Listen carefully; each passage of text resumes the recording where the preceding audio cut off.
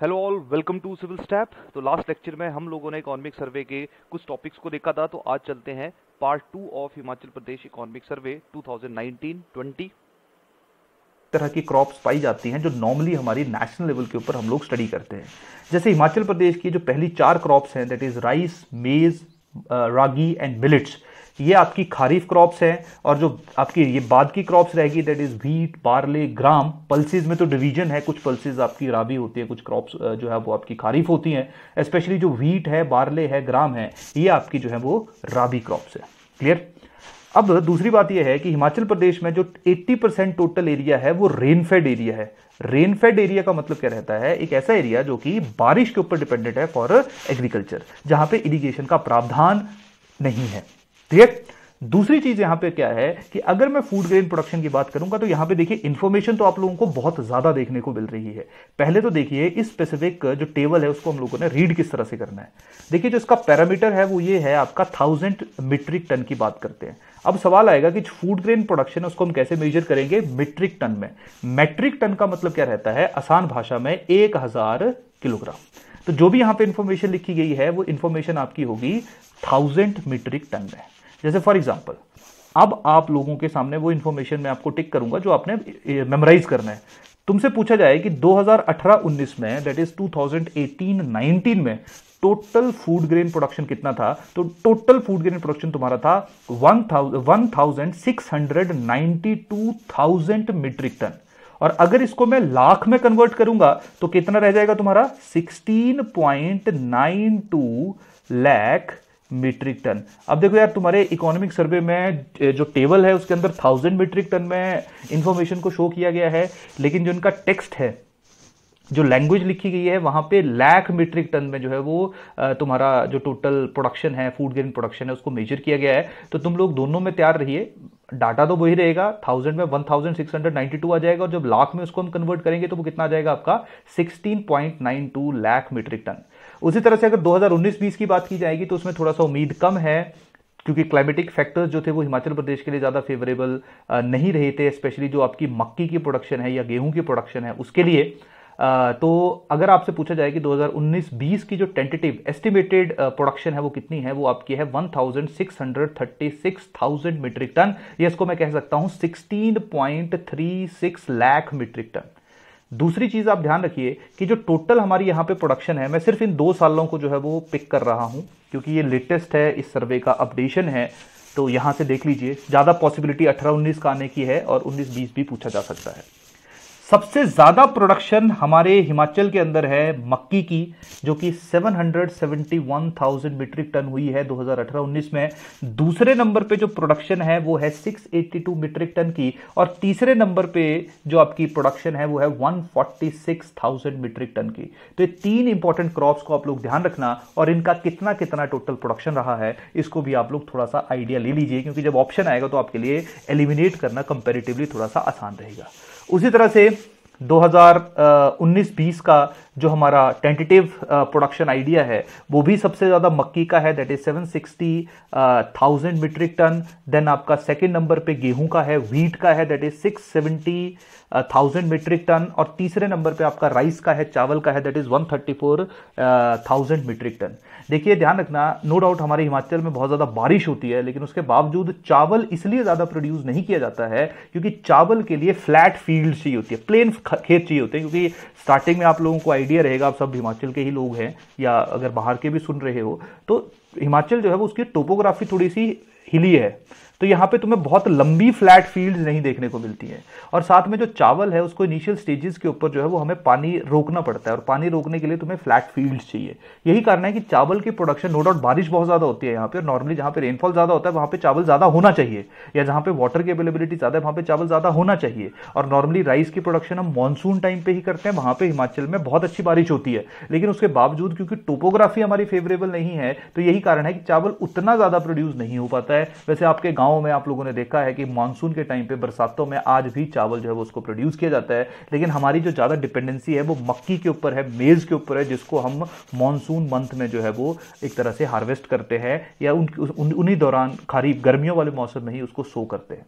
Clear तो यहाँ पे थोड़ी सी इन्फॉर्मेशन को आप लोग ध्यान रखें। उसके साथ साथ पोटैटो और वेजिटेबल एंड जिंजर जो कमर्शियल क्रॉप्स तीन इंपॉर्टेंट है उनके बारे में भी यहाँ से आप लोग देख सकते हो। यहाँ पे जो टोमेटो का टोटल प्रोडक्शन था वो 186.80 lakh one eighty six point eight zero thousand metric ton है जो एस्टिमेशन है वो 196.30 मेट्रिक टन है। वेजिटेबल की इन्फॉर्मेशन थोड़ी सी ध्यान रख लेना। 1722.14 thousand metric ton estimation again हर तरह, हर चीज़ के ऊपर नेगेटिव इंपैक्ट पड़ रहा है। या हर चीज़ की प्रोडक्शन हिमाचल प्रदेश में 2018-19 के मुकाबले 19-20 में कम है। क्योंकि 18-19 में प्रोडक्शन जो थी, वो हमारी वैसे भी कंपेरेटिवली बहुत ज़्यादा हो गई थी। जैसे देख लीजिए यहाँ पे, सत्रह अठारह के मुकाबले बहुत ज़्यादा जो था, वो हम लोगों ने इंक्रीज किया था। अप्रॉक्सीमेटली वन मेट्रिक टन से भी ज़्यादा। और सोलह सत्रह और सत्रह अठारह में भी इंक्रीज हुआ, लेकिन उतनी ज़्यादा ग्रोथ नहीं है जितनी अठारह उन्नीस में हम लोगों ने देखी थी। तो दो कारण है। एक तो अठारह उन्नीस में ज़्यादा बंपर क्रॉप होगी और दूसरा कारण है कि अठारह उन्नीस बीस में जो है वो क्लाइमेट ने बहुत ज़्यादा साथ हमारे किसानों का नहीं दिया, जिसके कारण हिमाचल में प्रोडक्शन हम लोगों को बहुत ज़्यादा देखने को नहीं मिली। तो देखिए थोड़ा सा फैक्चुअल तो है, लेकिन जैसा एग्ज़ाम का नेचर है, हम लोगों का प्रिपरेशन वैसा ही होना चाहिए। पर्सनली आप लोग ये दो तीन लाइंस याद रखना। टोटल फ़ूड ग्रेन प्रोडक्शन कितनी है? टोटल गेहूँ की प्रोडक्शन कितनी है टोटल आपका जो मक्की है उसकी प्रोडक्शन कितनी है और टोटल राइस की प्रोडक्शन कितनी है 2018, 19 और 19, 20 में इस इंफॉर्मेशन को आप लोग मेमोराइज कर सकते हो। क्लियर चलिए आगे। अब देखिए अगला जो है वो एग्रीकल्चर से रिलेटेड स्कीम्स के बारे में डिस्कस कर रहा हूँ।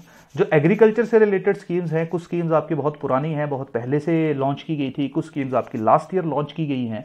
इन स्कीम्स को थोड़ा सा मैं डिस्कस करूँगा। यहाँ पे एक चीज़ मैं बता देता हूँ कि जब भी आपका इकोनॉमिक सर्वे आता है तो उसमें हिमाचल से रिलेटेड स्कीम्स के बारे में भी मेंशन किया जाता है और साथ में जो नेशनल लेवल की स्कीम्स हैं, उनके बारे में भी मेंशन किया जाता है।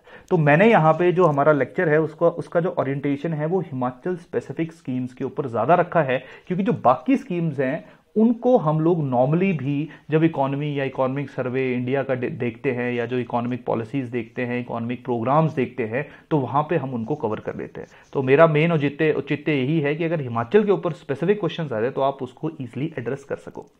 अब देखिए, सबसे पहले एक स्कीम की बात करते हैं, जिस स्कीम का नाम है that is plant protection program plant protection program का सिंपल सा मतलब यह है कि जैसे आप लोग देखते हो, हमारे यहाँ पे खेतों में काफ़ी ज़्यादा पेस्ट्स या काफ़ी इंसेक्ट्स और कभी कभी फ़सलों को बीमारियाँ लग पड़ती है। फ़सलें आपकी पीली होनी शुरू हो जाती है, जिसके कारण जो हमारा किसान है, उसको बहुत ज़्यादा नुकसान होता है। तो बेसिकली जो तुम्हारा प्लांट प्रोटेक्शन प्रोग्राम है, उसको लॉन्च करने का मेन औचित्य मेन ऑब्जेक्टिव यही है कि लोगों को अवेयर किया जा सके फ़सलों की बीमारियों के बारे में, फ़सलों के ऊपर जो इंसेक्ट्स या पेस्ट्स हैं, उनको किस तरह से कंट्रोल किया जा सके।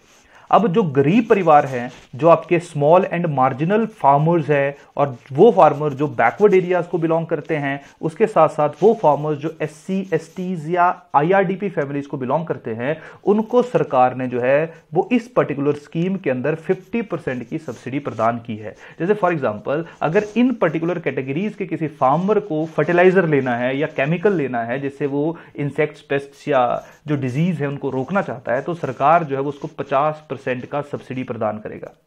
क्लियर या जो आपका टोटल जो कॉस्ट रहेगा, जैसे फॉर एग्जांपल अगर कोई केमिकल सौ रुपए का है तो उसको जो है वो पचास रुपए ही फार्मर को पे करना पड़ेगा, अगर वो इन स्पेसिफिक चार पाँच कैटेगरीज को जो है वो बिलोंग करता है। अब सवाल यहाँ पे आएगा कि पूछा जा सकता है कि प्लांट प्रोटेक्शन स्कीम के अंदर जो हमारे फार्मर्स हैं चार पाँच कैटेगरीज के, उनको जो इक्विपमेंट्स हैं या जो केमिकल्स हैं, वो कितनी परसेंट कॉस्ट के ऊपर मिलेंगे, या कितना परसेंट जो वो सरकार के द्वारा जो है उनको सब्सिडी प्रोवाइड किया जाएगा तो कितना परसेंट का कॉस्ट होगा? उनका पचास परसेंट का या फिफ्टी परसेंट का। दूसरा जी दूसरा आपका इंपॉर्टेंट प्रोग्राम है that is your soil testing laboratories आप सब लोगों ने देखा होगा कि हमारे यहाँ पे सॉइल हेल्थ कार्ड्स वगैरह बनने शुरू हो चुके हैं। सॉइल हेल्थ या सॉइल टेस्टिंग लेबोरेटरीज का मतलब है कि यहाँ पे पूरे राज्य के अंदर, हर एक डिस्ट्रिक्ट के अंदर चेक किया जाएगा कि सॉइल में कौन कौन से न्यूट्रिएंट्स जो हैं, उनकी ज़्यादा मात्रा है कौन से न्यूट्रिएंट्स की कमी है, और कौन सी क्रॉप हम वहाँ पे सो कर सकते हैं कौन सी क्रॉप अगर आप लोगों ने वहाँ पे सो करनी है, बोनी है तो उसके लिए जो है वो कितना या कौन सा जो है वो फर्टिलाइज़र या कौन से न्यूट्रिएंट्स जो है वो आपको सॉइल के अंदर डालने पड़ेंगे। तो एक मैं कहीं ना कहीं आपकी जो सॉइल टेस्टिंग लेबोरेटरीज है, इनका यही ऑब्जेक्टिव यही औचित्य है। एक चीज़ ध्यान रखना, ये लेबोरेटरीज जो है वो आपको ऑलमोस्ट हर डिस्ट्रिक्ट के अंदर देखने को मिलेगी, सिर्फ़ एक डिस्ट्रिक्ट के अंदर नहीं है, जिसका नाम है लाहौल एंड स्पीति।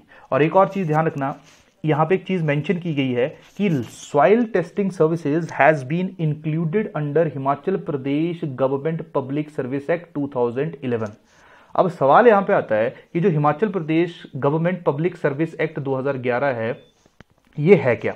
लेकिन इससे पहले, लेकिन इससे पहले मैं आप लोगों के साथ एक चीज़ डिस्कस कर लेता हूँ। देखिए, एक चीज़ ध्यान रखना कि Himachal Pradesh government public service act कब पास हुआ था? काफ़ी बार इस तरह के सवाल आपके पूछे जाते हैं जिनको हम पॉलिटिकल क्वेश्चंस कंसीडर करते हैं। वो पास हुआ था आपका 2011 में। देखिए, Himachal Pradesh government public service act का मतलब क्या है? कि यहाँ पे कुछ सर्विसेज़ जो है वो गवर्नमेंट के द्वारा नोटिफाई की जाती है। जैसे फॉर एग्ज़ाम्पल उन्होंने नोटिफाई कर दिया कि आपका जो सॉइल हेल्थ कार्ड है, वो विद इन सिक्सटी डेज़ बनेगा। तो 60 दिन का टाइम पीरियड आपको मिल गया है। तो इसका मतलब है कि हिमाचल प्रदेश गवर्नमेंट ने इस स्पेसिफिक सर्विस को गारंटी दे दी है कि 60 दिन के अंदर अंदर जो है आपका कार्ड बनेगा। उसी तरह से मान लो राशन कार्ड है तो वो टाइम दे देंगे कि इतने दिन के अंदर अंदर जो है तुम्हारा राशन कार्ड बनेगा। क्लियर है? डन तो इस स्पेसिफिक एक्ट का मतलब था कि कुछ सर्विसेज़ को नोटिफाई किया जाएगा जहाँ पे टाइम बाउंड डिलीवरी होगी। कि आज अगर आप रिक्वेस्ट करोगे तो कुछ दिनों के अंदर अंदर जो है वो आपको वो जो है वो डिलीवर होकर मिलेगा ही मिलेगा। वैसे इस एक्ट के अंदर जो है वो चीज़ लिखी गई है कि मिनिमम आपका 30 से लेके 45 दिन तक जो है वो किसी स्पेसिफिक सर्विसेज़ का टाइम बाउंड हो सकता है या टाइम पीरियड हो सकता है जिसके अंदर आपको वो सर्विसेज़ जो वो प्रोवाइड करनी है। जो सॉइल हेल्थ कार्ड्स हैं, उनका आपका साठ दिन का टाइम पीरियड जो है वो स्पेसिफिक एक्ट के अंदर लिखा गया है। इस एक्ट के अंदर, इस पर्टिकुलर टाइम पे टोटल एक सौ सर्विसेज़ हैं और सत्ताईस डिपार्टमेंट जो है वो स्पेसिफिक एक्ट के अंदर आते हैं। क्लियर है? तो ये थोड़ी सी फैक्चुअल इन्फॉर्मेशन इसको मेमोराइज कर लेना याद करना ये सर्वे के, के अंदर तो नहीं थी लेकिन फिर भी आपको इस तरह की एक्स्ट्रा इन्फॉर्मेशन के बारे में थोड़ा सा आइडिया रहना चाहिए। अगला आ गया that is your tea development बस एक चीज़ ध्यान रखो आप कि जो एरिया है टोटल हमारे राज्य में हमारे हिमाचल में वो कितना है टी के अंदर टी प्रोडक्शन के अंदर वो आपका है 2311 हेक्टेयर हिमाचल के अंदर 2311 हेक्टेयर एरिया जो है, वो टी डेवलपमेंट के अंदर आ रहा है। और उसके साथ साथ अगेन यहाँ पे भी जो आपके स्मॉल एंड मार्जिनल फार्मर्स हैं, उनको 50 परसेंट की सब्सिडी जो है, वो टी जो आपका प्लांटेशन है, उसमें प्रोवाइड की जाती है। अगला देखिए, अगली स्कीम है दैट इज़ मुख्यमंत्री नूतन पोली हाउस योजना। अब सबसे पहले तो सवाल आता है कि what is the meaning of poly house तो देखिए, आप सब लोगों ने आसान भाषा में, देसी भाषा में सुना होगा ग्रीन हाउस हम बोलते हैं ना कि ग्रीन हाउस लगाया हुआ है इसने। अब देखिए यार ग्रीन हाउस का एक टाइप आपका है पोली हाउस ग्रीन हाउस का ही एक टाइप है पोली हाउस पोली हाउस के अंदर जो है वो हम लोग पोली इथाइलिन को यूज़ करते हैं। पोली इथाइलिन को यूज़ करते हैं। ग्रीन हाउस बनाने का मेन ऑब्जेक्टिव रहता है, क्योंकि हम लोगों ने देखा है कि हमारी जो फ़सलें हैं, हमारे जो सॉरी हमारे जो फ्रूट्स हैं, हमारे वेजिटेबल्स हैं, वो ख़राब हो जाते हैं बहुत जल्दी अगर नॉर्मली हम लोगों, उन्होंने, उनको हमने खेत में सो किया हो। और उसके साथ साथ कभी क्लाइमेट का इम्पैक्ट भी है, उनके ऊपर नेगेटिव पड़ता है। तो यही कारण है कि आप लोगों ने देखा होगा कि हमारे यहाँ पे जो अलग अलग ग्रीन हाउस लगाए जाते हैं, जिनको ऊपर से कवर किया जाता है। एक शीट के थ्रू कवर किया जाता है। अब देखना ये शीट जो है वो प्लास्टिक की हो सकती है मतलब पॉलीथीन की हो सकती है, ये शीट जो है वो ग्लास की हो सकती है। तो ग्रीन हाउस के अलग अलग टाइप्स हैं, वो ग्लास के हैं, वो पोली एथाइलिन के हैं। तो जो शीट या जो जो आपका ग्रीन हाउस जिसमें पोली इथाइलिन शीट को यूज़ किया जाएगा, सिर्फ़ इसलिए ताकि प्रॉपर फोटोसिंथेसिस हो सके और आपके अलग अलग तरह के जो प्लांट्स हैं या फ्रूट्स हैं और, या वेजिटेबल्स हैं, उनको हम लोग प्रोड्यूस कर सके, उसको हम लोग कह देते हैं दैट इज़ पोली हाउस योजना। तो सरकार ने, क्योंकि आप सब लोगों को पता है गवर्नमेंट ऑफ़ इंडिया का एक मेन ऑब्जेक्टिव है कि 2022 तक आते आते हमारे जो फार्मर्स हैं, उनकी इनकम को दुगना करना है डबल करना है। तो उसी संदर्भ में, उसी कंटेक्स्ट में इस स्पेसिफिक स्कीम को जो है वो लॉन्च किया गया है क्योंकि हिमाचल प्रदेश में जो एग्रीकल्चर नॉर्मल एग्रीकल्चर है, वो उतना ज़्यादा फेवरेबल नहीं है। यही कारण है हम लोगों को हॉर्टिकल्चर के ऊपर या इस तरह का जो ग्रीन हाउसेज हैं या पोली हाउसेज हैं, उनके ऊपर ज़्यादा ज़्यादा जो है वो डिपेंडेंसी शो करनी पड़ रही है। सरकार ने इस स्पेसिफिक स्कीम को 2019, 2020, 2019 और 20 में लॉन्च किया था। इस स्कीम के अंतर्गत का या इस स्कीम का मेन औचित्य था कि हिमाचल प्रदेश के अंदर जो है वो 5000 टोटल पोली हाउसेज जो है वो हम लोगों ने बनाने हैं और उसके साथ साथ टोटल 85 परसेंट सब्सिडी जो है वो सरकार के द्वारा बियर की जाएगी अगले चार सालों के लिए। चार सालों का मतलब क्या है? 2019 से लेके 2023 तक 2023 तक ठीक है? चार सालों के लिए इस स्कीम के अंदर 85 परसेंट सब्सिडी जो है वो सरकार के द्वारा दी जा रही है। मतलब 85 परसेंट खर्चा जो है वो आपकी सरकार बियर करेगी। तो उसी संदर्भ में या उसी लिए यहाँ पे जो है वो मेंशन किया गया था कि इस स्कीम को जो है वो सरकार ने इतना 78.59 लाख जो था वो लास्ट टाइम अप्रूव किया था और इसका जो फंडिंग होगा वो आपका नबार्ड का रहेगा। आप सब लोगों को पता होना चाहिए। नबार्ड के पास एक फंड रहता है R I D F that is rural infrastructure development fund तो आर आई डी एफ़ जो है, इस फंड को अलग अलग क्षेत्रों के की डेवलपमेंट के लिए लगाया जाता है स्पेशली जो रूरल एरियाज़ में, चाहे वो एग्रीकल्चर है, चाहे वो आपका क्रेडिट है, गाँव के अंदर, और लोगों को प्रदान किया जा सके, वहाँ से नबार्ड जो वो फंडिंग प्रोवाइड करता है तो ये पैसा भी नबार्ड के पास जो है, वो इन्होंने अप्रूवल के लिए सबमिट कर दिया है, जैसे नबार्ड अप्रूव करेगा, ये पैसा जो है वो हमारे हिमाचल को मिल जाएगा। उसके साथ उसके साथ नेक्स्ट आपका आ जाएगा दैट इज़ योर नेक्स्ट आपका अगली स्कीम है दैट इज़ उत्तम चारा उत्पादन योजना। ये तो नाम से पता चल रहा है। वैसे ये स्कीम 2015 में लॉन्च की गई थी, थोड़ी सी पुरानी स्कीम है। उत्तम चारा उत्पादन योजना। उत्तम चारा का मतलब सिंपल सा है कि किस तरह से जो फॉर्डर है जो चारा है, आपके पशुओं का, उसकी क्वालिटी को इम्प्रूव किया जा सके। क्योंकि जितना ज़्यादा तुम उनकी क्वालिटी को इम्प्रूव करेंगे, उतना ही ज़्यादा जो लाइफ स्टॉक है, जो तुम्हारा जो तुम्हारी भैंसे हैं, गायें हैं, वो उतना ही ज़्यादा दुधारू या उतना ही ज़्यादा दूध जो है वो आपको देंगे, जिससे, जिसके कारण कहीं ना कहीं जो किसान हैं, उनको भी फ़ायदा रहेगा। तो टोटल इसमें था कि जो टोटल पूरा, ये याद रखना बस कि इस स्कीम के अंदर टारगेट ये है कि पच्चीस हज़ार हेक्टर एरिया जो है वो उसको क्वालिटी फॉर्डर फॉर्डर मतलब क्वालिटी चारे के अंदर जो है वो एक तरह से यूज़ किया जाए। नेक्स्ट अगला स्कीम आपका है दैट इज़ मुख्यमंत्री खेत संरक्षण योजना। नाम से पता चल रहा है, मुख्यमंत्री खेत संरक्षण योजना का मतलब क्या है? कि जो आप लोगों ने देखा है कि हमारे यहाँ पे गाँव में क्या रहता है, कि खेतों के आसपास बंदर आ जा रहे हैं, या कभी कभी सुअर आ जा रहे हैं तो किस तरह से उनको जो है वो खेतों के अंदर आने से रोकना है? और नॉर्मली हिमाचल प्रदेश में ये चीज़ हर जगह देखी जाती है। तो यहाँ पर सबसे बेस्ट सोल्यूशन क्या है कि मान लो किसी का खेत है, किसी का मान लो एक फ़ील्ड है उस फ़ील्ड के चारों तरफ़ जो है वो फेंसेस लगा दो। अब फेंसेस लगाओगे मतलब बाढ़ लगा दो, जिसको आप देसी भाषा में बोलते हो। अगर तुम फेंस लगाओगे इसके चारों तरफ़ तो कहीं ना कहीं जो फेंसेस फेंस है उसके पास जो जानवर है, क्योंकि जो सुअर वगैरह है, वो तो उस फेंस को ईजिली तोड़ देगा। तो इसके अंदर जो है वो तुम लोगों ने थोड़ा सा जो है वो बड़ा, बहुत ज़्यादा तो नहीं, छोड़ा थोड़ा सा करंट भी यहाँ पे छोड़ा हुआ है। तो इसके लिए जो एनर्जी आएगी, उसके लिए अलग अलग नियर बाई एरियाज़ में सोलर पैनल्स बनाए गए हैं। वो सोलर पैनल जो है, वो इन जो फेंसिस हैं, उनको इलेक्ट्रिसिटी प्रोवाइड करेंगे। क्लियर ताकि जो जानवर है वो आपके खेतों तक ना सके। तो इस स्कीम के अंतर्गत टोटल जो सब्सिडी प्रोवाइड की गई है सरकार के द्वारा, वो टोटल सब्सिडी आपकी है कितनी? 80 परसेंट सब्सिडी जो है वो सरकार के द्वारा दी गई है। 2019-20 में 35 35 करोड़ रुपीस जो तो वो सेंक्शन किया गया था और ऐसा उम्मीद है कि कम से कम 2000 हेक्टेयर की जो लैंड है, उसको फेंस किया जाएगा, जहाँ पे सोलर फेंसेज जो हैं सोलर फेंस जो हैं, उनको यूज़ किया जाएगा। अगली स्कीम तुम्हारी है दैट इज़ मुख्यमंत्री किसान एवं खेतीहार मजदूर जीवन सुरक्षा योजना देखिए पहला चीज़ आप लोगों को ज़्यादा रट्टा मारने की आवश्यकता नहीं है नाम से चीज़ों का पता चलता है मुख्यमंत्री किसान एवं खेतीहार मजदूर किसान तो आपके आगे फार्मर्स खेतीहार मजदूर मजदूर तुम्हारे आगे जो खेतों के अंदर काम करने वाली लेबर हैं उनके जीवन सुरक्षा योजना मतलब उनके लिए लाइफ इंश्योरेंस का जो है वो एक तरह से प्रावधान है क्लियर अब एक चीज़ ध्यान रखना, ये जो स्पेसिफिक स्कीम है, ये उन लोगों के लिए है। मान लो कभी कभी आप लोग देखते हो कि हमारे यहाँ पे जैसे कभी ट्रैक्टर चलाते चलाते जो है वो किसी जो फार्मर है, उसकी डेथ हो जाती है। कभी ट्रैक्टर आपका जो है वो पलट जाता है।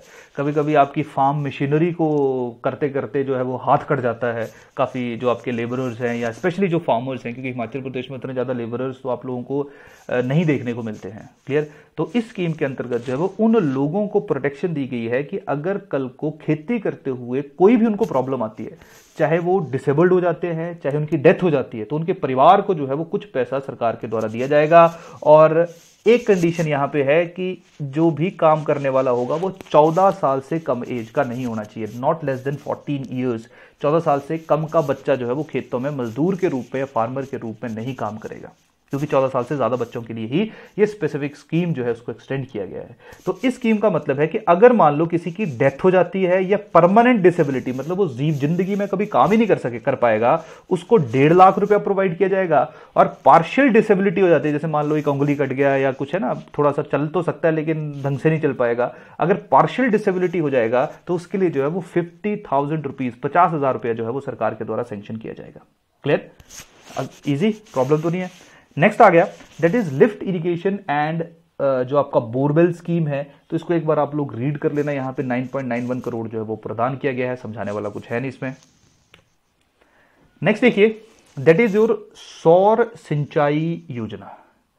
सौर सिंचाई का सिंपल सा मतलब है कि किस तरह से जो हमारे, आप लोगों ने देखे होंगे ना, घरों में पंप यूज़ करते हैं, जहाँ पे हम इलेक्ट्रिसिटी को जो है वो डायरेक्टली लिंक करके पानी जो है वो यहाँ से वहाँ ट्रांसफ़र करते हैं। तो यहाँ पे जो पंप या जब हम लिफ्ट इरिगेशन करते हैं लिफ्ट में क्या है कि जैसे आपने देखा होगा, हिमाचल में मैक्सिमम जगह पे वैसे ही जो है वो वाटर सप्लाई प्रदान की जाती है जैसे मान लो कोई आपकी नदी बह रही है रिबुलेट है, जिसको देसी भाषा में तुम खड कहते हो तो वहाँ से तुम लोगों ने देखा होगा काफ़ी गाँवों को, काफ़ी शहरों को जो है वो पानी जो है वो आपका ट्रांसपोर्ट होता है क्लियर है? तो जब तुम मान लो पंप के थ्रू जो है वो वाटर को पिक करोगे तो वहाँ पे जो है वो पानी, जो आपका पंप है वो सोलर एनर्जी के ऊपर काम करे क्लियर तो यहाँ पे सरकार ने जो है वो अलग अलग तरह की सब्सिडीज का प्रावधान किया वैसे मोरलेस ये कलेक्टिव के लिए नहीं है, ये सिर्फ़ मैं आपको एग्ज़ाम्पल दे रहा था, ये इंडिविजुअल फार्मर्स के लिए है। तो अगर कोई स्मॉल एंड मार्जिनल फार्मर है लास्ट लेक्चर में हमने डिस्कस किया था कि स्मॉल फार्मर क्या होता है मार्जिनल फार्मर क्या होता है, और हिमाचल प्रदेश में कितने स्मॉल एंड मार्जिनल फार्मर्स हैं, उनको 90 परसेंट असिस्टेंस प्रदान की जाएगी। क्लियर जो आपके मीडियम एंड बिग फार्मर्स हैं उनको जो है वो 80 प्रतिशत तक जो है वो असिस्टेंस प्रोवाइड की जाएगी। और अगर मान लो पाँच लोग मिलके जो है वो सोलर पंपिंग मशीन लगाना चाहते हैं अपनी पूरी कम्युनिटी के लिए तो उनको जो है वो 100 परसेंट असिस्टेंस जो है वो सरकार के द्वारा प्रदान की जाएगी। और ऐसी एस्टिमेशन है कि हिमाचल प्रदेश के अंदर जो है वो पाँच हज़ार आठ सौ पचास सोलर एग्रीकल्चरल पंपिंग सेट जो हैं, उनको किसानों के लिए अवेलेबल कराया जाएगा। तो एक चीज़ देखिए धीरे धीरे हब क्योंकि हिमाचल प्रदेश में जो हिली एरियाज़ हैं, वहाँ पर भी तुम्हारा सोलर एनर्जी का पोटेंशियल जो है वो बहुत ज़्यादा है। तो यही कारण है कि कहीं ना कहीं अब हम लोग जो है वो हाइडल से शिफ्ट कर रहे हैं अपने आप को। वैसे नो डाउट हिमाचल प्रदेश में मैक्सिमम तो कॉन्ट्रीब्यूशन हाइडल का ही है और रहेगा भी हाइडल का, लेकिन धीरे धीरे हम लोग जो बाकी रिन्यूएबल एनर्जी के हमारे सोर्सेज हैं, उनके ऊपर जो है ज़्यादा फोकस कर रहे हैं, क्योंकि विंड के लिए उतने ज़्यादा फेवरेबल सिचुएशन जो हैं वो हमारे राज्य के अंदर नहीं है। तो देर इज़ अ पॉसिबिलिटी कि हम लोग सोलर और हाइडल तो हमारे पास है ही, लेकिन हाइडल का तुम लोगों को पता है कि हाइडल के जो कॉन्सिक्वेंसेज हैं एनवायरमेंटल कॉन्सिक्वेंसेज हैं डिस्प्लेसमेंट लोगों की हो रही है वो थोड़े से नेगेटिव हैं क्लियर पर चलो, एक खासियत है हमारे राज्य की कि यहाँ पे आप लोग देखो छोटे छोटे मेगावाट के दो मेगावाट का, पाँच मेगावाट का छोटे छोटे पावर प्रोजेक्ट है, वो हम लोगों को देखने को मिलते हैं क्लियर चलिए छोड़िए, जल्दी चलते नेक्स्ट अगला आ जाएगा दैट इज़ जल से कृषि को बल योजना। तो जल से कृषि को बल योजना, इस स्कीम का मेन ऑब्जेक्टिव क्या है कि चेक डैम बनाए जाएँ और पॉन्ड्स बनाए जाए ताकि किसान जो है, वो इरिगेशन के लिए पानी को यूज़ कर सके। तो चेक डैम तो आई थिंक आप लोगों को पता होगा, जैसे मान लो फॉर एग्ज़ाम्पल तुम्हारा एक कोई खड बह रही है या एक नदी बह रही है तो तुम लोग क्या करोगे?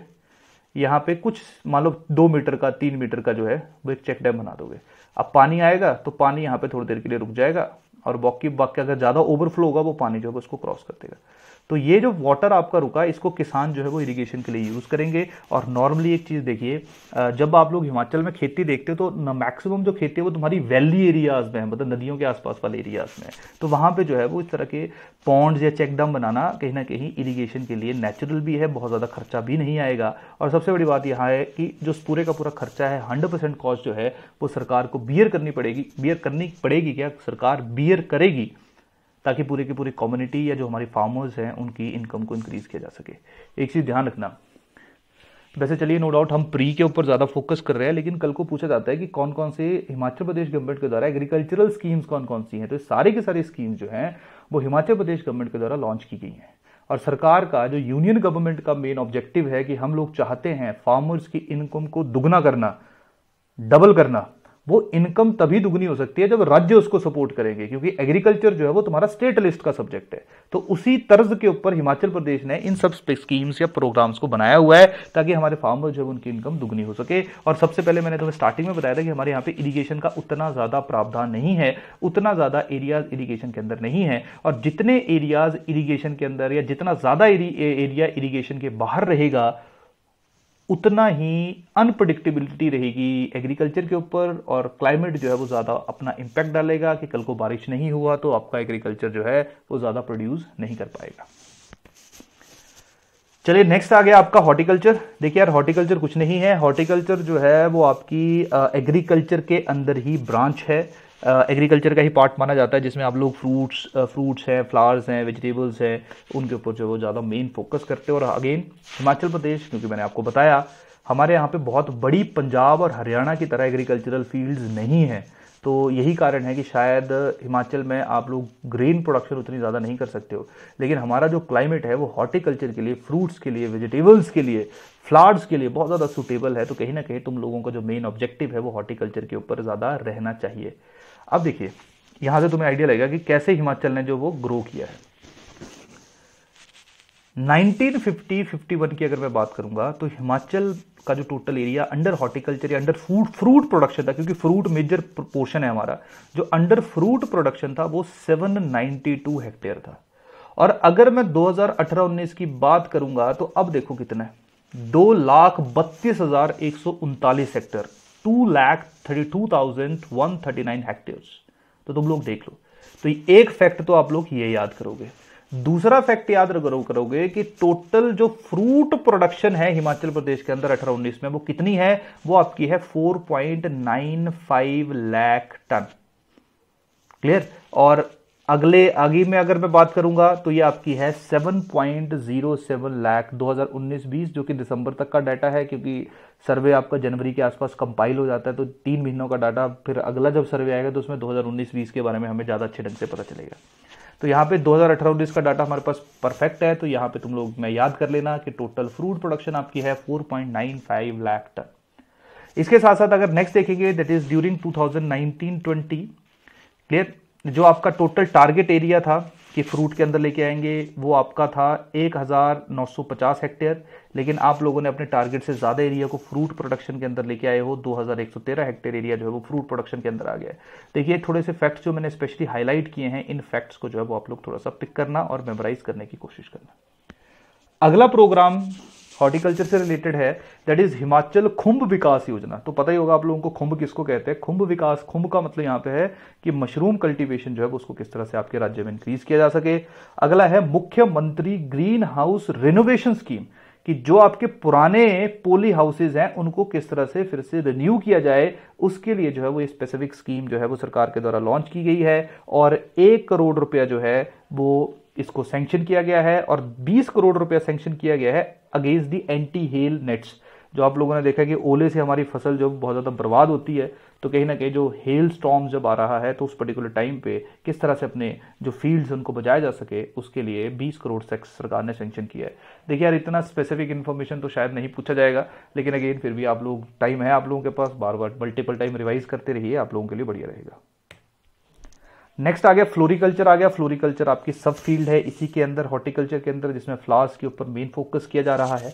तो देखिए, जिस तरह से हमने फ्रूट प्रोडक्शन या फ्रूट के अंदर जो टोटल एग्रीकल्चर एरिया है, उसको डिस्कस किया, उसी संदर्भ में आप लोग देखिए कि टोटल फ्लावर्स के अंदर आपका एरिया कितना है फोर हेक्टेयर और हिमाचल के अंदर फ्लावर कल्टिवेशन को प्रमोट करने के लिए मॉडल फ्लावर कल्टीवेशन सेंटर्स बने हुए हैं। ये याद रखोगे सब लोग, ये ये इस तरह की इंफॉर्मेशन बहुत इंपॉर्टेंट है। दो मॉडल फ्लावर कल्टीवेशन सेंटर्स है जहाँ पे पूरे राज्य में जो है वो फ्लावर्स को भेजा जाएगा। वो सेंटर्स आपके हैं महोग भाग, जो कि चायल आपका डिस्ट्रिक्ट सोलन में है, और दूसरा पालमपुर, जो कि डिस्ट्रिक्ट कांगड़ा में है। इसके बारे में आप सब लोगों को पता है। इसके साथ साथ जो आपकी कॉपरेटिव सोसाइटीज हैं नाइन फार्मर कॉपरेटिव सोसाइटीज भी काम कर रही हैं for the production and marketing of flowers ये डिस्ट्रिक्ट्स हैं, शिमला के अंदर तीन है, कांगड़ा के अंदर दो हैं, लाहौल के अंदर दो है, सोलन के अंदर एक है और एक जो है वो आपकी चंबा डिस्ट्रिक्ट के अंदर है। तो ये थोड़ी सी इंफॉर्मेशन इसको भी ध्यान रखना कि कौन कौन से जो राज्य हैं या सॉरी आपके राज्य के अंदर, आपकी स्टेट के अंदर कौन कौन से डिस्ट्रिक्ट हैं जहाँ पे आपकी फार्मर्स कोऑपरेटिव सोसाइटीज बनी हैं, जिनका मेन मेन जो लक्ष्य है वो है राज्य के अंदर स्टेट के अंदर फ्लावर कल्टिवेशन को प्रमोट करना।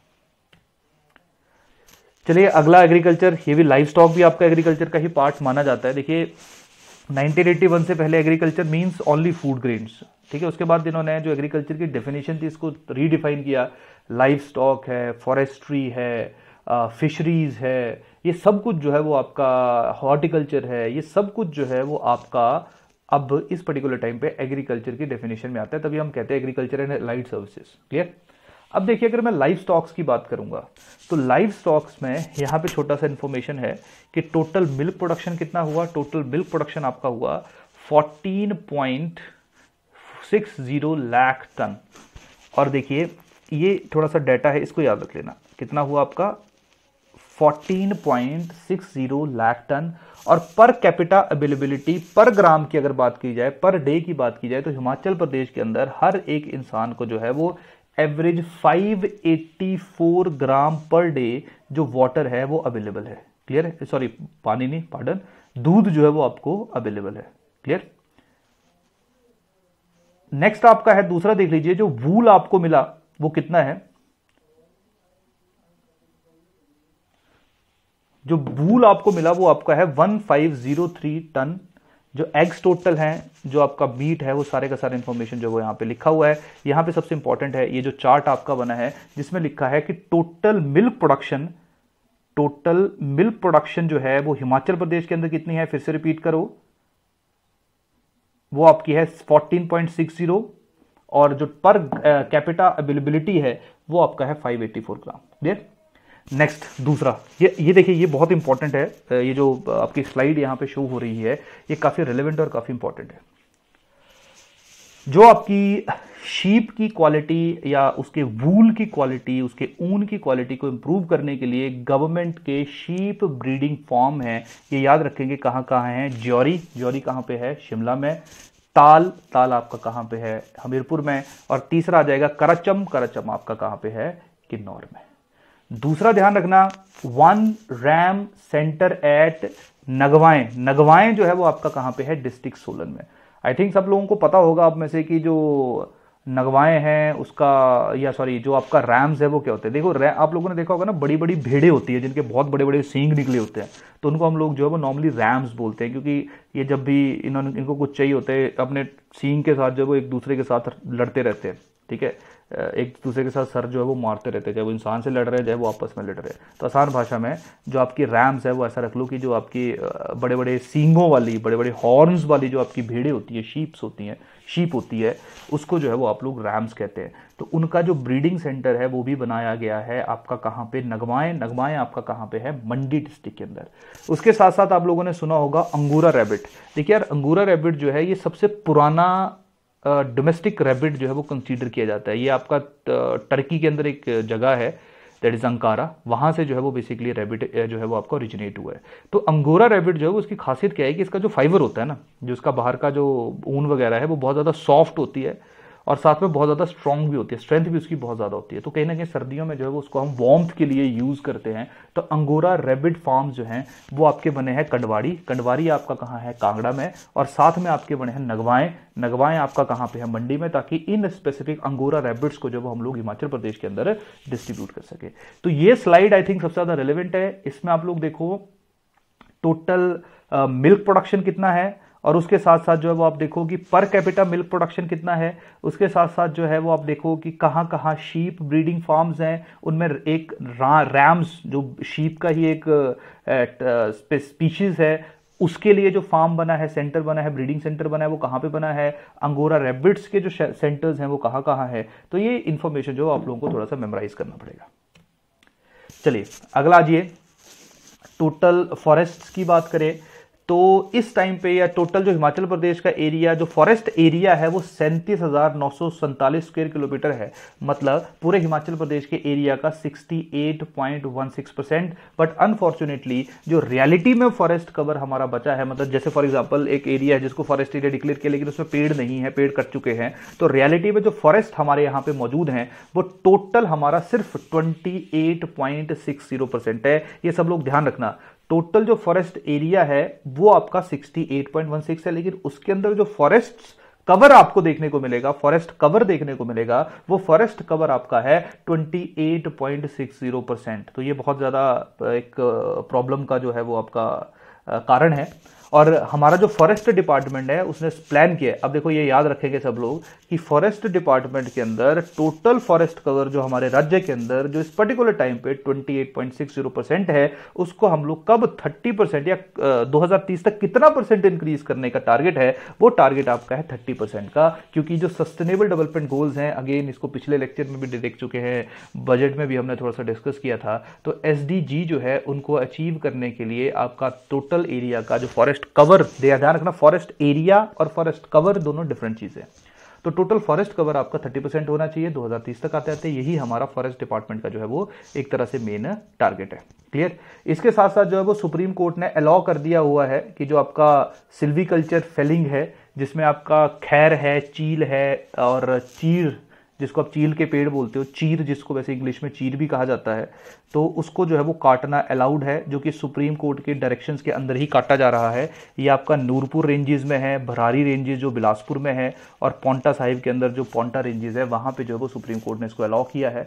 तो यही कारण है वहाँ पे तीन, ये ध्यान रखना कि सुप्रीम कोर्ट ने कौन कौन से पेड़ों को अलाउ किया है, कटने के लिए खैर है, चील है और साल है, और कौन कौन सी जगहों के ऊपर किया है, ये आपका किया है इन्होंने नूरपुर में, भरारी में और साथ में पोंटा साहिब में। चलिए नेक्स्ट आ जाइए। अगला देखिए, अगला आपका जो फॉरेस्ट कंजर्वेशन से रिलेटेड स्कीम्स है वो कौन कौन सी हैं? देखो, ये जो स्पेसिफिक स्कीम्स हैं, यहाँ पे जो है वो मैं बता देता हूँ अपने कौन कौन सी चीज़ों को स्टडी करना है। सबसे पहली स्कीम आपकी है दैट इज़ सामुदायिक वन सामुदायिक वन संवर्धन योजना। इस स्कीम का सिंपल सा आसान भाषा में बता बता देता हूँ। आसान नाम से पता चल रहा है, सामुदायिक वन संवर्धन योजना, कि जब पूरा समुदाय, पूरी कम्युनिटी जो है, वो फॉरेस्ट के कंजर्वेशन को इंप्रूव करेगा फॉरेस्ट कवर को इंक्रीज करने में हेल्प करेगा, ये उस स्कीम का मेन ऑब्जेक्टिव रहेगा। दूसरा आ जाएगा विद्यार्थी वन मित्र योजना। विद्यार्थी वन मित्र योजना का सिंपल सा मतलब यह है कि बच्चों के अंदर फॉरेस्ट से रिलेटेड या नेचुरल कंजर्वेशन से रिलेटेड जो बीज है उसको बोया जाए ताकि बड़े होके वो पेड़ों को ना काटे। और तुम लोग देखना हमारे यहाँ पे स्कूल लेवल लेवल के ऊपर भी जो है वो ये हर साल में एक दो बार जो है वो आपकी एक्टिविटी होती है जहाँ पे जो फॉरेस्ट या जो हमारे पेड़ वगैरह जो है बच्चों से लगवाए जाते हैं ताकि बच्चों के अंदर जो है वो एक तरह से जो पेड़ों के प्रति या जो हमारा फॉरेस्ट कवर है या जो हमारा नेचर है, हमारी एनवायरमेंट है, उसकी कंजर्वेशन के प्रति जो है, वो एक भावना जागृत हो। उसके बाद आपका जाएगा दैट इज़ वन समृद्धि जन समृद्धि योजना। जो वन समृद्धि जन समृद्धि योजना है, इसका सिंपल सा मतलब है, देखिए, जो अब अगर आप आई थिंक आप सब लोग गाँव से बिलोंग करते होंगे, या आपको पता है कि गाँव में जो पेड़ है, उनका क्या महत्व है? पेड़ जो है, वो गाँव के अंदर सिर्फ़ लकड़ी के लिए टिम्बर के लिए यूज़ नहीं किए जाते हैं कि तुमने घर बना लिया, तुमने दरवाजे बना लिए। गाँव में जो पेड़ हैं, वो पशुओं के चारे के लिए यूज़ किए जाते हैं। गाँव में जो पेड़ हैं, वो आपका एनर्जी के लिए यूज़ किए जाते हैं, जिसमें तुम लोगों ने देखा होगा कि जो पुराने गाँव के जो चूल्हे होते थे, वहाँ पे लकड़ी को एज ए फ्यूल जो था, वो यूज़ किया जाता था। जो आपके पेड़ है, वो एक तरह से तुम्हारी जो रिक्रिएशन नीड है, उसको भी सेटिस्फाई करते हैं। क्लियर तो पेड़ जो है उनका नॉन टिम्बर पर्पस मतलब लकड़ी के अलावा जो बाकी पर्पस है, कि लोगों को जो है, वो जागरूक किया जाए कि देखिए, पेड़ जो है तुम्हारे लिए कितने महत्वपूर्ण है, क्योंकि तुम लोग देखना आजकल भी जो तुम लोग देखते होंगे कि तुम्हारे गाँव में या तुम्हारे शहर में, तुम्हारे घर में, और इस टाइम पे आई थिंक तुम घर पे यही देख रहे होंगे। और हो सकता है तुम में से कुछ लोग ये काम कर भी रहे हों कि शाम को जाके जो है वो पेड़ से काट लिया करयाले जिसको तुम कहते हो, उसमें से जो है वो चारा जो है वो पशुओं के लिए दे दिया, ठीक है? तो बेसिकली जो वन समृद्धि, जन समृद्धि योजना ये वही है कि जो नॉन टिम्बर फॉरेस्ट प्रोडक्ट्स हैं उसको जो है वो और ज़्यादा स्ट्रेंथन किया जाए, जैसे बिरोजा तुमने देखा होगा, ठीक है? उसको जो है वो और ज़्यादा स्ट्रेंथन किया जाए ताकि लोग जो है वो भी अपने लिए भी उसको यूटिलाइज कर सके यूज़ भी कर सके। तो यहाँ पे ये सात राज्यों में जो वो पहले इम्प्लीमेंट किया जाए पार्डन सात डिस्ट्रिक्ट्स में पहले इंप्लीमेंट किया जाएगा, उसके बाद पूरे जो हमारा राज्य है, पूरी स्टेट है, उसमें इंप्लीमेंट किया जाएगा। इसमें जो आपके नॉन टिम्बर फॉरेस्ट प्रोडक्ट्स हैं, उनको बेचा भी जाएगा। अगेन जो मैंने कमर्शियल पर्पज के लिए, बिरोजा का एग्ज़ाम्पल दिया था, बाकी तो मैं सिर्फ़ एक जनरल पर्पज के लिए तुम लोगों को बता रहा था। जैसे चंबा है, कुल्लू है, मंडी, शिमला, सिरमौर, किन्नौर है लाहौल स्पीति। नेक्स्ट स्कीम आपकी है एक बूटा बेटी के नाम। इसमें जो है वो आपका जो आ, लड़की का पिता होगा या लड़की के जो सॉरी पेरेंट्स होंगे वो जैसे ही जिस घर में बेटी है वहाँ पे मॉनसून के दौरान या विंटर सीजन्स के दौरान जो है वो एक अपने घर की लैंड के ऊपर या सरकारी ज़मीन के ऊपर, जिसको आप शामलायत कहते हैं, वहाँ पे लड़की के नाम पे जो एक बूटा लगाएँगे क्लियर है। और ये स्कीम जो थी वो 2019-20 में प्रिपेयर की गई। ये दोनों इससे पर्पज सॉल्व हो गए। इससे तुम्हारा फॉरेस्ट कवर के ऊपर का पर्पज भी सॉल्व हो गया कि पेड़ लगा रहे हो फॉरेस्ट कवर इंक्रीज हो रहा है। और उसके साथ साथ जो है, वो जो तुम्हारी वुमेन जो आप तुम्हारी सेक्स रेशियो हिमाचल प्रदेश के अंदर भी जो कम होती जा रही है, उसके लिए एक अवेयरनेस कैंपेन भी हो गया। तो कहीं ना कहीं जैसे तुम अपने बच्चों को नर्चर करोगे, वैसे ही अगर तुम उस पेड़ को भी नर्चर करोगे तो अगेन तो हमारी जो एक एक एम्पति है हमारा जो एक अटैचमेंट है फॉरेस्ट के साथ पेड़ों के साथ नेचर के साथ वो इंक्रीज होगा। और हिमाचल प्रदेश जैसा राज्य जो कि अभी भी कहीं ना कहीं जिसको हम लोग एक सेनेटिक ब्यूटी के लिए जानते हैं अगर हम इसको बचाना चाहते हैं अगर हम चाहते हैं कि आज से 10, 15, 20 साल के बाद इसके हालात वैसे ना हो जाएँ जहाँ से आप लोग आए हो और तुम तुम यहाँ पे आके हमेशा अप्रिशिएट करते हो कि यहाँ की जो ज़िंदगी है वो अच्छी है तो उसके लिए तुम लोगों को नेचर से प्यार करना पड़ेगा। क्लियर चलिए, बहुत, चलिए आगे चलते हैं। नेक्स्ट देखिए फॉरेस्ट कंजर्वेशन के लिए क्लाइमेट चेंज के इंपैक्ट को मिटिगेट करने के लिए इकोसिस्टम को डेवलप करने के लिए दो प्रोजेक्ट्स हैं, दोनों के ऊपर, या जो पहले वाला प्रोजेक्ट है, इसके ऊपर दो तीन साल पहले एग्ज़ाम में क्वेश्चन पूछा जा चुका है, और ये इकोनॉमिक सर्वे में हमेशा इस प्रोजेक्ट को जो वो मेंशन किया जाता है। देखिए, एक आपका प्रोजेक्ट है दैट इज़ हिमाचल प्रदेश अब देखो, सवाल, इतना बड़ा पैराग्राफ है, इसमें से सवाल किस तरह से पूछा जाएगा, वो देखते हैं। एक आपका फॉरेस्ट कंजर्वेशन स्कीम है that is your Himachal Pradesh forest ecosystem climate proofing project तो क्लाइमेट प्रूफिंग प्रोजेक्ट जो है, वो इसका सिंपल सा मतलब ये है कि जो क्लाइमेट चेंज के इंपैक्ट है, उनको किस तरह से मिटिगेट किया जा सके और जो फॉरेस्ट से निकलने वाले प्रोडक्ट हैं, उनको किस तरह से जो कम्युनिटीज फॉरेस्ट के ऊपर डिपेंडेंट है, जैसे मैं थोड़ी देर पहले एग्ज़ाम्पल भी दे रहा था, उनको जो है वो उसका पूरा प्रॉपर बेनिफिट जो है वो प्रदान किया जाए। तो इस स्पेसिफिक प्रोजेक्ट को जो फंड किया है, वो आपका जर्मन डेवलपमेंटल बैंक ने किया है। तो पहला सवाल तो आएगा, आगे मैं बताता हूँ कि जो आपका सवाल दो तीन साल पहले पूछा था, वो सवाल क्या था? पर पहला, इस स्पेसिफिक प्रोजेक्ट को जो फंड किया है, वो जर्मन डेवलपमेंटल बैंक ने किया है। दूसरा, इस स्पेसिफिक प्रोजेक्ट को जो इंप्लीमेंट किया गया है, वो दो डिस्ट्रिक्ट्स के अंदर किया गया है, चंबा के अंदर और कांगड़ा के अंदर।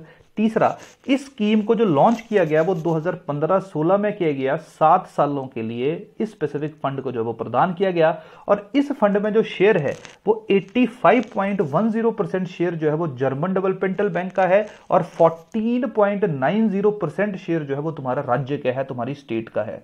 तो सवाल यहाँ से देखो क्या था, बाकी सवाल पूछे जा सकते हैं जो मैंने डिस्कस किया। सवाल था कि Himachal Pradesh forest ecosystem climatic proofing project जो है, वो कौन कौन से दो डिस्ट्रिक्ट्स के अंदर लॉन्च हो रहा है? तो वो दो डिस्ट्रिक्ट्स आपकी हैं। First is your Chamba and second is your Kangra और अब पूछा जा सकता है, हो सकता है इज़ अ पॉसिबिलिटी कि शेयर कितना है, ये स्पेसिफिक प्रोजेक्ट को किसने फंड किया है। तो इस तरह के बारे में आपको आइडिया होना चाहिए। अगला आपका है that is Himachal Pradesh second जो आपका इंपॉर्टेंट प्रोजेक्ट है that is Himachal Pradesh forest ecosystem management and livelihood improvement project देखिए, इस स्पेसिफिक प्रोजेक्ट का जो मेन मतलब है, वो अगेन मोर और सेम है। लेकिन थोड़ा सा डिफरेंट क्या है कि यहाँ पे भी जो फॉरेस्ट है, उनको कंजर्व करना है, जो माउंटेन इकोसिस्टम है, उसको थोड़ा सा और ज़्यादा बेटर करना है, जो जो डिपेंडेंट कम्युनिटीज़ हैं, उनके लिए अगर तुम फॉरेस्ट कवर को इंक्रीज करोगे तो ऑब्वियस बात है उनके लिए ज़्यादा रिसोर्सेज मिलने शुरू हो जाएँगे तो मोरलेस बहुत ज़्यादा डिफरेंस नहीं है। डिफरेंस क्या है पहला? ये प्रोजेक्ट जो था, वो आठ साल के लिए लॉन्च किया गया था, पंद्रह सोलह में, जो कि पुराने वाला सात साल के लिए लॉन्च हुआ है। दूसरा, इस स्पेसिफिक प्रोजेक्ट का जो फंडिंग प्रदान किया है, वो आपका किया है जापान इंटरनेशनल कॉपरेशन एजेंसी ने। तीसरा, इसका जो फंडिंग पैटर्न है, वो पुराने वाले से थोड़ा सा डिफरेंट है। यहाँ पे 80 परसेंट जे देगा that is Japan International Cooperation Agency देगी। और जो 20 परसेंट शेयर रहेगा, ये तुम्हारे राज्य का होगा, तुम्हारे हिमाचल का रहेगा। और अगला और इंपॉर्टेंट इसको कहाँ कहाँ लॉन्च किया गया है? तो इसको लॉन्च किया गया है बिलासपुर में, इसको लॉन्च किया गया है कुल्लू में, इसको लॉन्च किया गया है मंडी में इसको लॉन्च किया गया है शिमला में। इसको लॉन्च किया गया है किन्नौर, लाहौल स्पीति, पांगी और भरमौर दो की चंबा डिस्ट्रिक्ट के अंदर है।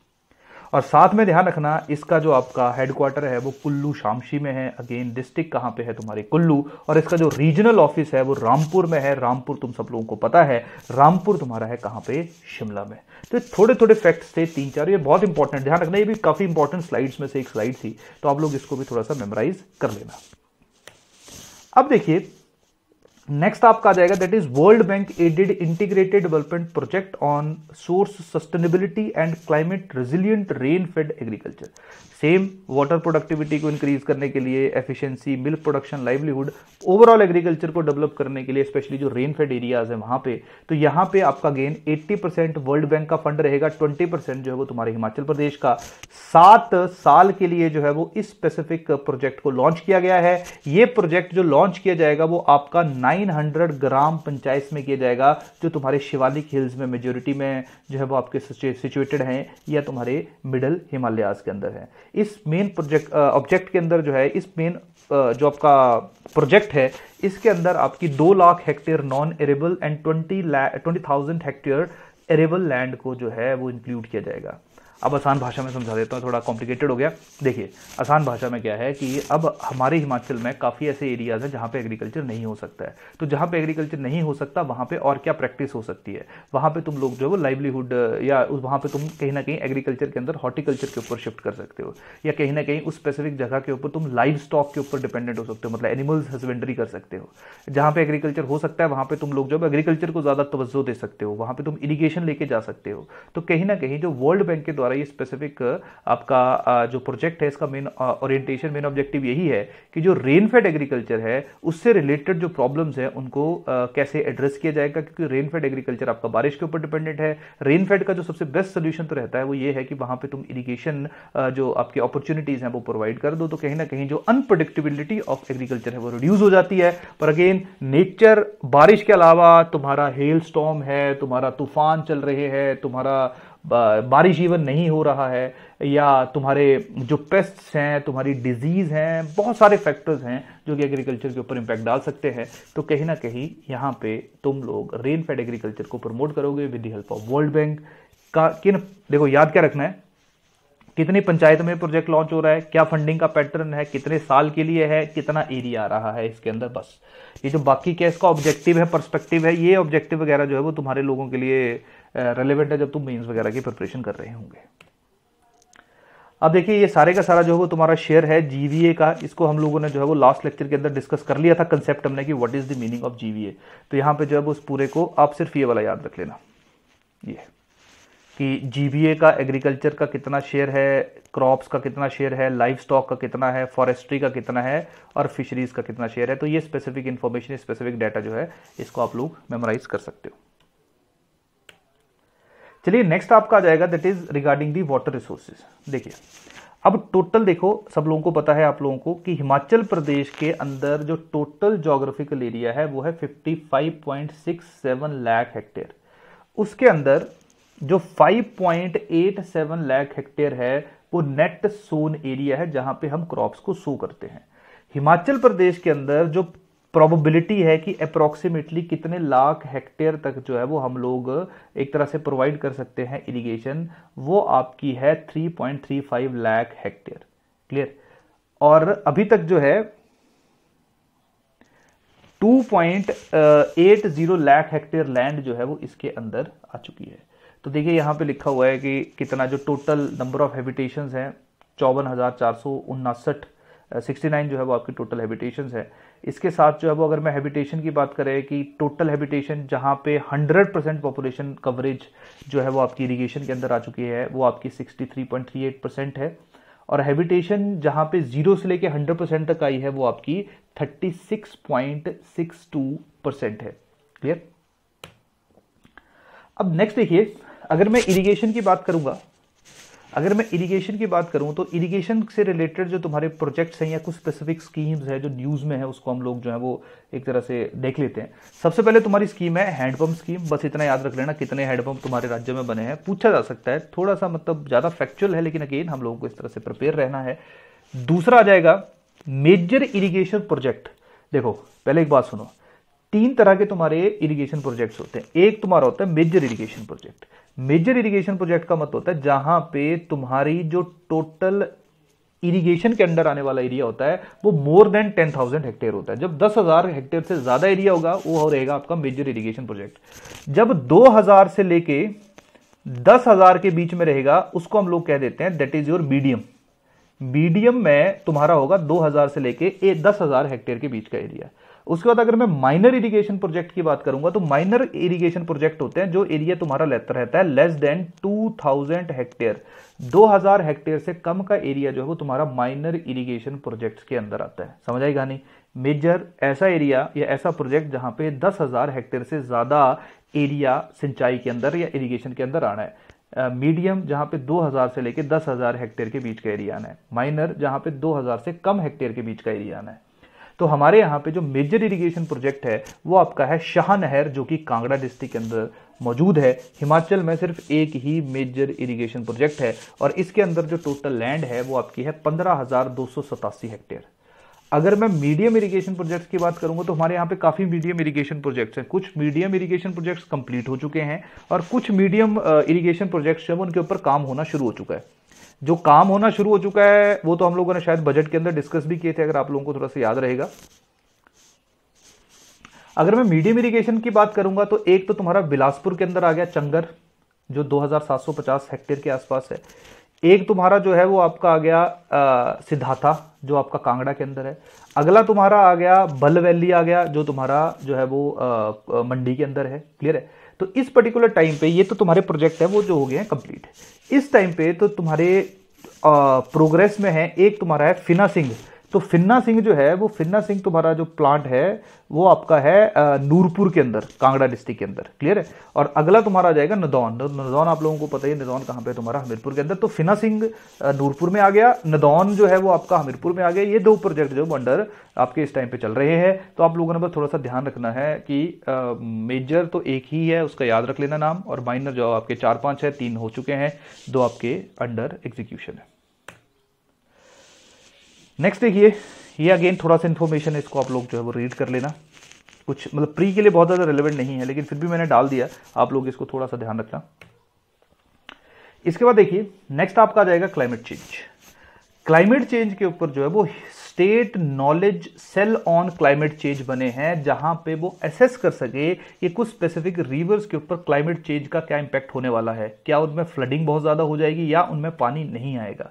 तो इस पर्टिकुलर टाइम पे चार डिस्ट्रिक्ट्स के अंदर जो है, वो क्लाइमेट चेंज का क्या इंपैक्ट पड़ेगा ब्यास रिवर के ऊपर? और वो ब्यास रिवर बेसिन जिन चार डिस्ट्रिक्ट्स के साथ लिंक्ड है, वहाँ पे जो है, वो उसको स्टडी कर रहा है कि what is impact of climate change what will be the impact of climate change on these four districts जो कि ब्यास के साथ डायरेक्टली और इनडायरेक्टली रिलेटेड है।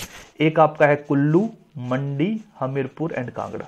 बस एक छोटा सा ध्यान रखना कि जो आपका स्टेट नॉलेज सेल है, जो इस पर्टिकुलर टाइम पे क्लाइमेट चेंज के साथ एसोसिएटेड है, वो कौन से चार राज्यों, चार डिस्ट्रिक्ट्स के लिए काम कर रहा है, वो चार डिस्ट्रिक्ट्स तुम्हारी है, कुल्लू, मंडी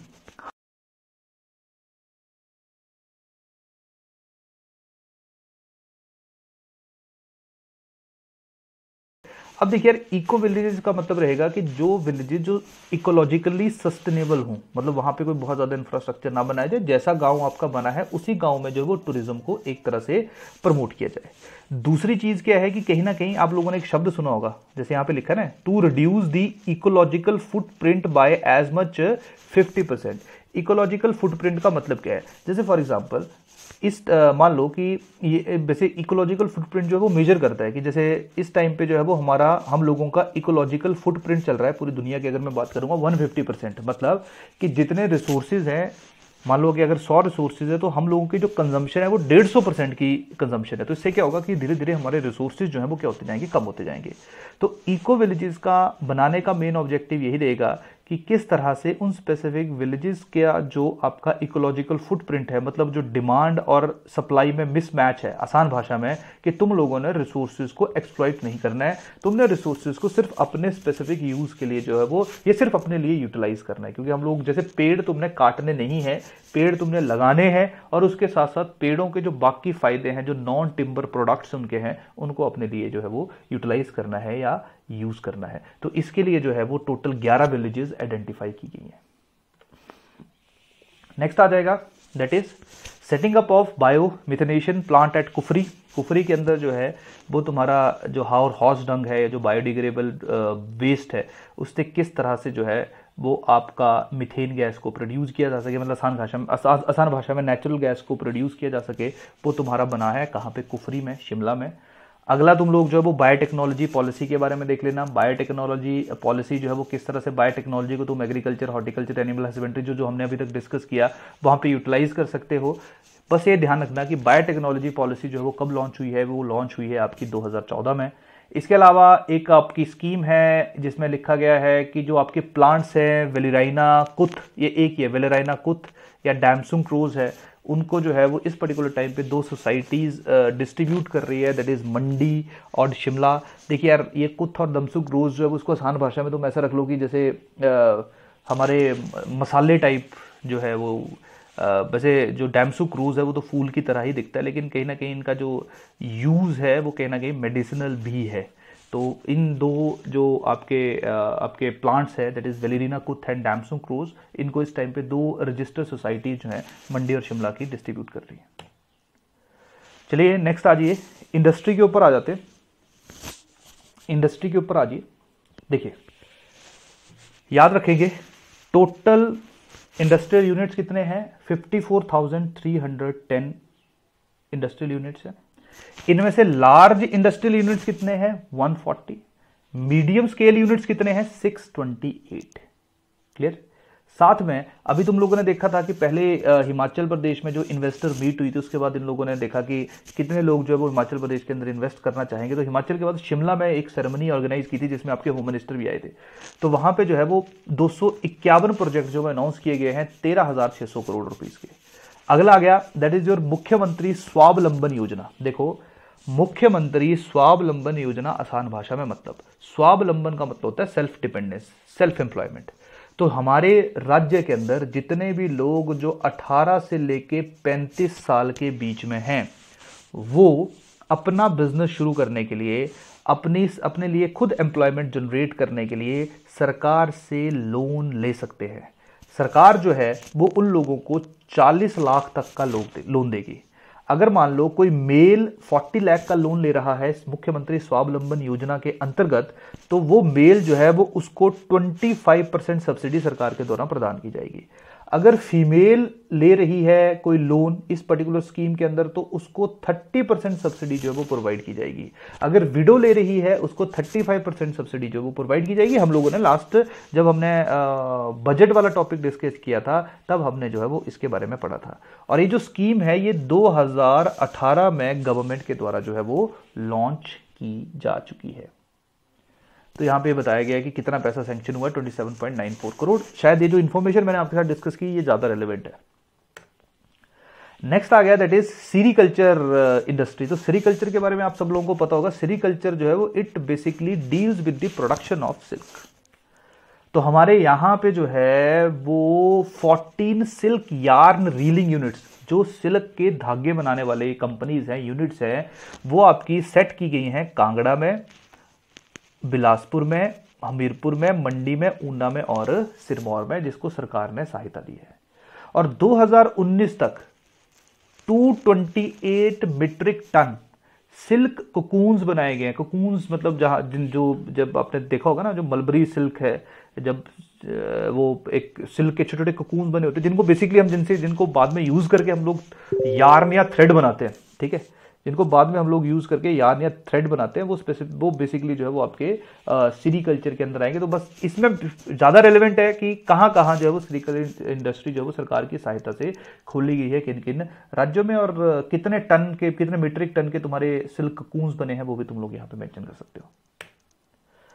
नेक्स्ट आ जाओ इंडस्ट्री अगर इंडस्ट्री की बात की जाए तो हिमाचल प्रदेश का जो 2011 का सेंसस है, उसके accordingly 30.05 percent of total population of Himachal Pradesh is classified as main workers 21.80 percent as marginal workers and rest 48.15 percent as non workers अब यहाँ पे सवाल आएगा कि मेन वर्कर्स मार्जिनल वर्कर्स और नॉन वर्कर्स में डिफरेंस क्या होता है? देखो नॉन वर्कर्स तो भूल जाओ, जो जिनके पास कोई काम ही नहीं है। मार्जिनल वर्कर्स और मेन वर्कर्स में डिफरेंस क्या है? मेन वर्कर्स वो वर्कर्स हैं जिनके पास एक साल में छह महीने या छह महीने से ज़्यादा का काम है। मार्जिनल वर्कर वो वर्कर है जिनके पास लेस देन सिक्स मंथ काम है एक एक साल के अंदर। तो ऐसे हम लोग जो वो कैटेगराइज करते हैं। तो अब इसमें जो मेन और मार्जिनल है, इसको टोटल मिला के आपके हो जाते हैं fifty seven point nine three percent clear तो हमारे यहाँ पे जो main marginal and non workers हैं स्पेशली वुमेन ज़्यादा है नॉन वर्कर्स में क्लियर तो ये इस तरह से कैटेगराइज है। उसके बाद आ जाइए दैट इज़ मिनिमम वेज याद रखोगे, हर राज्य अपनी मर्ज़ी से अपने लोगों के लिए मिनिमम वेज जो है, वो डिसाइड करता है। तो हिमाचल प्रदेश के अंदर जो मिनिमम वेज है, वो पहले दो सौ रुपया हुआ करती थी, और अब इस सर्वे में जो मेंशन किया गया है, उस मिनिमम वेज को बढ़ाया गया है दैट इज़ ढाई सौ रुपया टू फिफ्टी रुपीज़ नेक्स्ट देख लीजिए आपका एम्प्लॉयमेंट से रिलेटेड जो है वो आपके जो कुछ प्रोग्राम्स हैं तो जैसे special employment exchange for specially abled जो स्पेशली एबल्ड लोग हैं कैंडिडेट्स हैं उनको ट्रेनिंग प्रोवाइड की जा सके या उनको एम्प्लॉयमेंट में असिस्टेंस दी जा सके पब्लिक या प्राइवेट सेक्टर में आ, वो भी हिमाचल प्रदेश के अंदर जो है वो उस तरह के एक्सचेंज को बनाया गया था। वैसे बहुत पुरानी बात है 1976 से।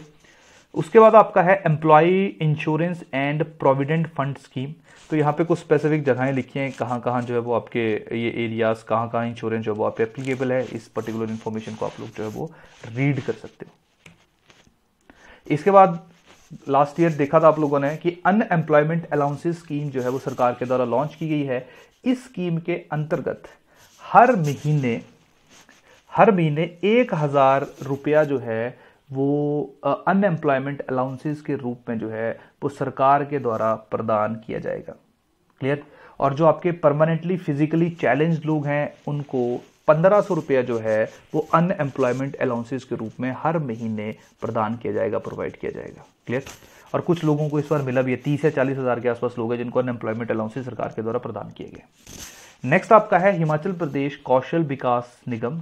इसका सिंपल सा मतलब है कि हिमाचल प्रदेश के अंदर जो लोग हैं, उनका स्किल डेवलपमेंट जो है वो किस तरह से की जा सके। तो उसी लिए जो है वो स्किल डेवलपमेंट अलाउंसेस स्कीम जो है वो सरकार के द्वारा लॉन्च की गई है, जिसमें अगेन मोरल लेस जो तुम्हारा अलाउंस है, वो जो है वो दो साल के लिए प्रदान किया गया। सेम वैसा ही है जैसा अनएम्प्लॉयमेंट अलाउंस है, जिसमें जो है वो एक हज़ार रुपये पर महीने दिया जाएगा, और उसके साथ साथ पंद्रह सौ रुपया जो परमानेंटली फ़िज़िकल चैलेंज लोग हैं, उनको जो है वो दो साल तक सरकार के द्वारा प्रदान किया जाएगा।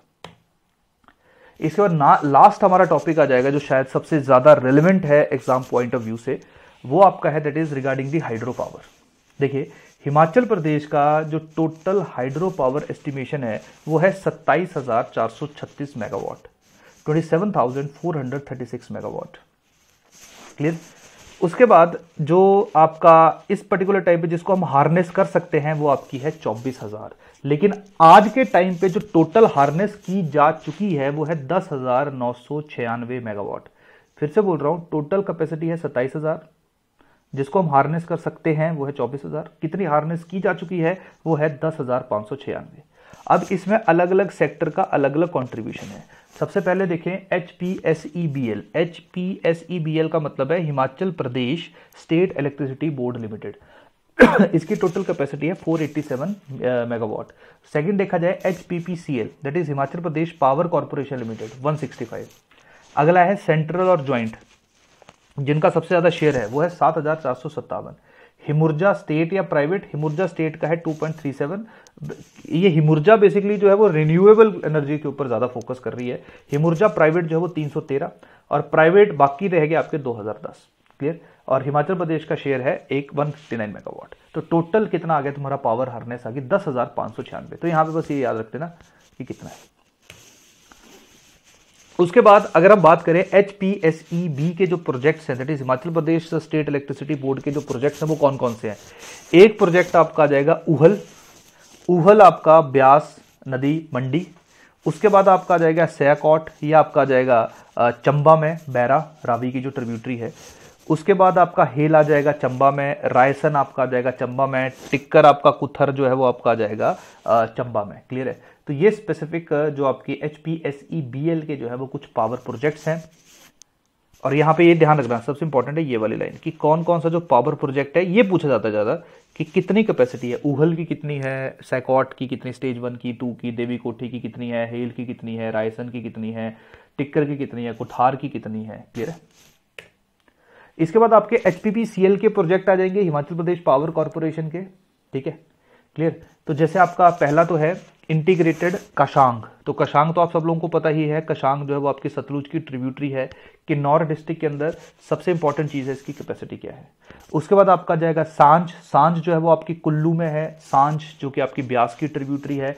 टोटल कैपेसिटी कितनी है? 100 उसके बाद आपकी आ जाएगी सावरा कुडू सावरा कुडू जो है वो आपका पब्बर पब्बर, जो कि तुम्हारी यमुना की ट्रिब्यूटरी है, और ये कहाँ है? तुम्हारी शिमला डिस्ट्रिक्ट के अंदर इसकी टोटल कैपेसिटी है 111 उसके बाद आ गई शोंगडोम करचम, सतलुज, किन्नौर 450 मेगावाट। उसके बाद आ गया छंजू एंड दियोथल 78 आ जाएगा। चंबा, छंजू, नाला, जो कि बैरा रिवर की ट्रिब्यूटरी है अगेन बैरा जो कि आगे रावी के साथ मिलेगी 78 उसके बाद आपकी आ गई रेणुका जी। रेणुका जी जो वो आपकी गिरी सिरमौर 40 मेगावाट। उसके बाद आपकी आ गई सुरगनी, सुंदुला, सियूल नदी जो कि चंबा में रावी की ट्रिब्यूटरी है, उसके ऊपर 48 मेगावाट। उसके बाद आ गया धम्बारी सुंदा धम्बारी सुंदा पब्बर नदी के ऊपर जो कि शिमला में है 70 मेगावाट। उसके बाद आपका आ गया थाना प्लॉन जो कि मंडी डिस्ट्रिक्ट में है। उसके बाद आपके आ गया नखथाण जो कि पार्वती नदी, कुल्लू। क्लियर? 460 मेगावाट। उसके बाद आपका आ गया किशाऊ किशाऊ आपका आ गया सिरमौर में टॉन्स रिवर के ऊपर। ये बेसिकली उत्तराखंड और उसकी बाउंड्री को जो है वो शेयर करता है, जो आपका 660 मेगावाट का आ गया। क्लियर तभी तो दिखा ना यहाँ पे इंटरस्टेट एग्रीमेंट डन अब देखो यार, ये तुम्हारे एग्ज़ाम के लिए जो इंपॉर्टेंट टॉपिक्स थे, उनकी मेन इंपॉर्टेंस थी। देखिए बीच बीच में मैंने कुछ स्लाइड्स को बहुत ज़्यादा डिटेल में नहीं डिस्कस किया है, क्योंकि मेरे अकॉर्डिंगली वो प्री में उतने ज़्यादा रेलिवेंट नहीं है, लेकिन फिर भी हो सकता है कि डायरेक्टली इनडायरेक्टली उनको यूज़ किया जाए। और आपको आने वाले टाइम के लिए मेन्स के लिए भी ये जो स्पेसिफिक नॉलेज है, वो कहीं ना कहीं काम करेगा। डन तो ये हमारा आज का हिमाचल प्रदेश इकोनॉमिक सर्वे का लेक्चर था, जो तीसरा पार्ट जिसमें लास्ट पाँच चैप्टर्स को हम लोग डिस्कस करेंगे, वो जल्दी ही आप लोगों के साथ शेयर किया जाएगा। तब तक के लिए थैंक यू धन्यवाद.